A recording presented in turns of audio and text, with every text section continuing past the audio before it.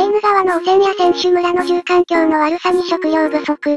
それだけにとどまらず、今度は食中毒まで発生していた。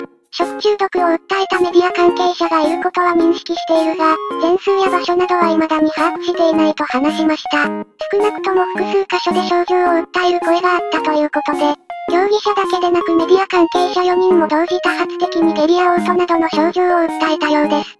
これに対してネットの反応は、とんでもないオリンピックになったな。過去最低を更新し続けてる。セーヌ川かな？もう終わりだなこの国。何一つまともにできねえ。うんこまみれの不潔な国だな。選手からしたら東京で9月にやるのがいいだろうね選手村から出てないだけマシか。にしてもひどいわ。史上最低最悪のパリ五輪。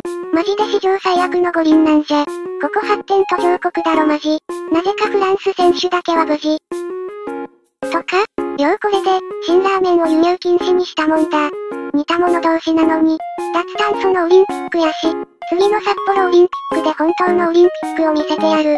不潔にも程があるだろ。リオですらなかったのにヤバすぎ。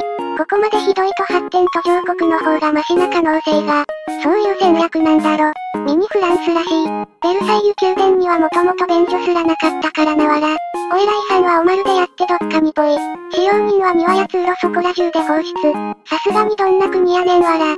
審判も関係者も食材も腐ってやがる。発展途上のアジア諸国の方がフランスよりずっとマシだと思うぞ。ほんと不潔だよパリは。